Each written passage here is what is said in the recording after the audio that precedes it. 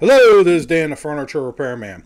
Today we're going to show you how to use rattle can toners to color a piece of furniture to a certain color that you're trying to shoot for. On the bottom left you can see that's what we end up with even though it looks very different than what we start with and we're going to show you how we do it. Now on the right hand side you can see a natural pine that's what's in my hand that I'm spraying. It's a rattle can so it's coming and the toner is a clear coat with a color in it.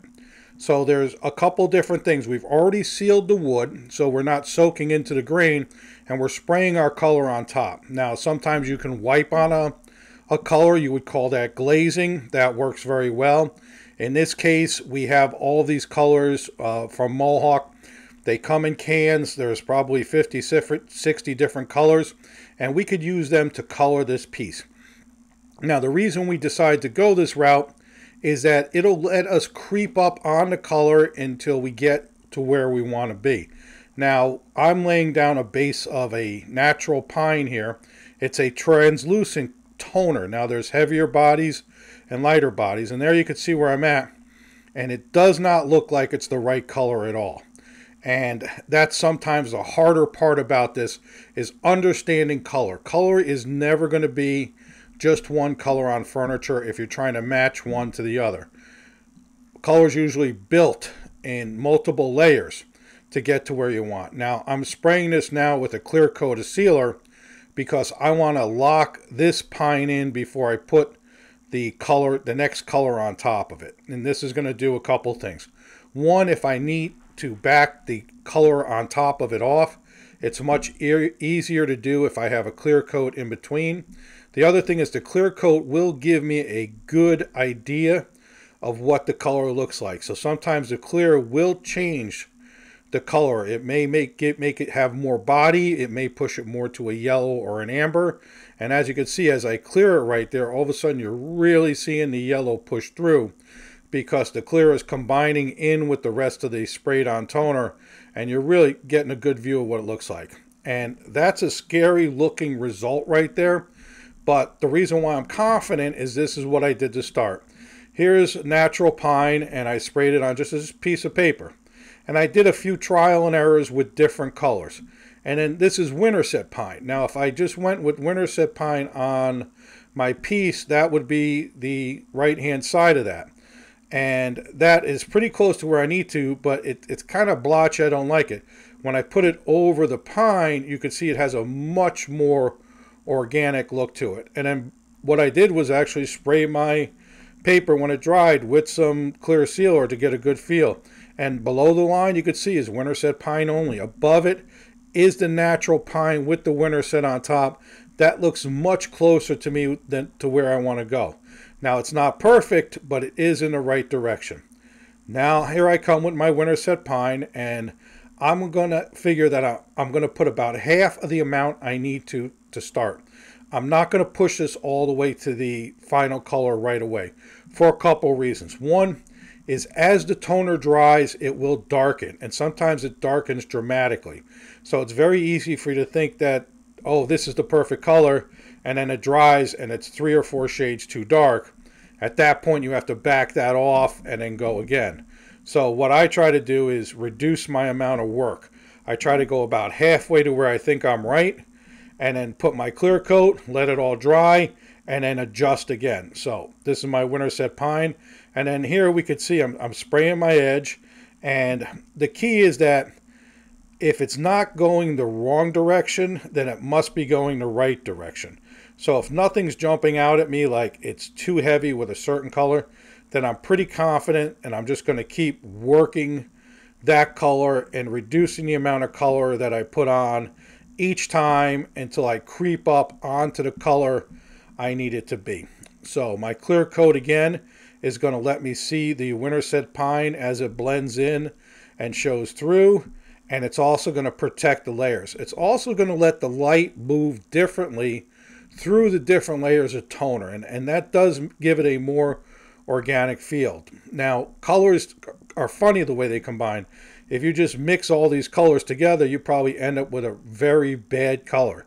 But if you put colors on top of each other, you can end up with a very natural, beautiful, organic looking color because it's not going to be all the way across. Now, in the darker areas, I'm looking at it and I'm very encouraged. That looks like my piece.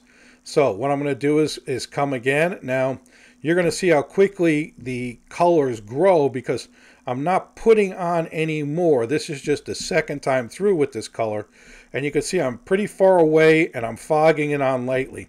If you go too close with these rattle cans, you will end up with spray lines. My advice is really go slow, keep your distance, and then let them fog on. The other thing is I like using the plastic handles because they tend to give you a good pressure on the spray cap. They tend to keep the can from spitting, and sometimes when the can spits, you get little dots of color all over your piece. So this is where we're at, and because we fogged it on, it looks very flat. The reason why it looks very flat is a lot of that toner is drying in the air, so it's landing dry rather than wet. So we're going to again come back with our clear coat, and the clear coat is going to drastically change the way it looks because it's going to eliminate that flatness and you're going to let you're going to get a better look at the way the color is. And this is where we're looking at. Now, we're not there, but we're also not going in the wrong direction. And we could tell by the edge is very close to the body. That encourages me. That just means I need to darken the top. Now, what I'm going to darken the top with is the next thing I have to decide what I'm missing. So what I feel like I need to add is a little bit of red in this. But I won't, don't want to add it every place. This is very uniform and it looks just too uniform to me. So I'm going to break it up a little. I'm lightly sanding my top and I'm not sanding it for adhesion. I'm sanding it because I'm going to lay these boards or I call them sticks on the top and I'm going to spray my toner on but it's only going to go in certain areas that are going to mimic boards. Now this is a cherry.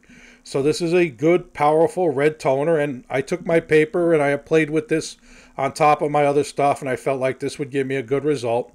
So I'm just very lightly fogging it on from a very far away, and I'm only shooting it towards one side of my opening there, so I create some imbalance even within the openings. And you see how little bit I put on there, not too much at all. Each color has a certain amount of uh, strength, and you have to figure out. So that's why you want to kind of spray it and test it before you just go ahead and start spraying it on pieces, or it goes red. is very easy to get too much on very quickly. And this isn't like a sophisticated process here. I just got some flat sticks and I'm moving them around and I'm eyeballing this. And that's all there is to it. I'm a big fan of keeping things simple. Simple succeeds a lot of times. So I know I want to create boards. I don't need some crazy system. I don't want to put tape on my freshly sprayed piece because there's always a, a chance that the tape will stick. And I don't want everything perfect because the boards aren't perfect that it was made with. So I have to make it look very legitimate. So just those, that little bit of red, and that doesn't look like a lot of red that I'm there, but you can see right there, it really went red because the cherry is such a strong color and it really does make it pop on there. And again, I'm coming back with my clear coat right across the piece and that's really going to make it all turn into one uniform thing. It's going to absorb in and there's where we're at right now. Now this is very, very close. I'm going to come back with just a little bit more of maybe the Winterset Pine but this puppy is about done. This is Dan the Furniture Repairman. Thank you so much for watching. You have questions, comments, go ahead put them below. You want to see me watch make a particular video, uh, put it down there. I'll see what I can do to get it done. You all have a good day now.